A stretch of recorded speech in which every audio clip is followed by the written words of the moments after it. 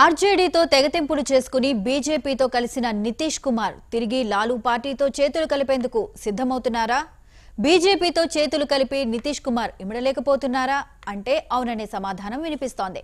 మహాగఠబంధన్ నుంచి ఏడాది క్రితం బయటకు వచ్చేసిన నితీష్ కుమార్ తిరిగి అదే గూటికి వచ్చేయాలన్న యోచనలో ఉన్నట్లు తెలుస్తోంది.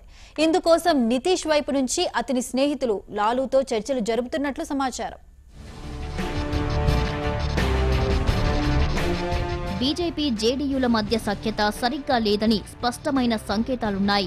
కొంతకాలంగా నితీష్ కుమార్ బీజేపీపై వ్యతిరేక గలాన్ని వినిపిస్తున్నారు.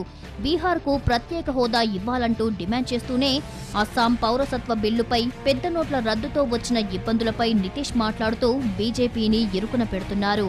ఇదిలా ఉంటే నితీష్ కుమార్ ఆర్జేడీల మధ్య మాటల యుద్ధం జరిగాక నితీష్ను మళ్ళీ యూపీఏలోకి ఆహ్వానించేందుకు ఆర్జేడీ సిద్ధంగా లేదని ఆ పార్టీ నేతలు చెబుతున్నారు.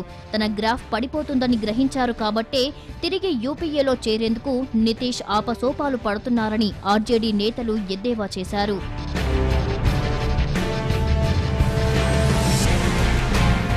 మరోవైపు లాలూ తనయుడు మాజీ మంత్రి తేజస్వి యాదవ్ కూడా నితీష్ ఎంట్రీని వ్యతిరేకిస్తున్నారు. నితీష్ని నమ్మే పరిస్థితి లేదన్నారు.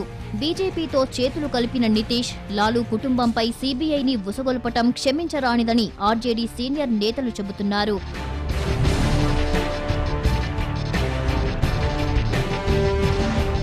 ఇక వచ్చే లోక్సభ ఎన్నికల సమయానికి బీజేపీని వ్యతిరేకిస్తున్న పార్టీలతో కలిసిపోవాలని కాంగ్రెస్ ఆశపడుతున్నప్పటికీ బీహార్లో మాత్రం ఆర్జేడీని కాదని కాంగ్రెస్ అడుగు ముందుకెయ్యలేని పరిస్థితి తలెత్తింది.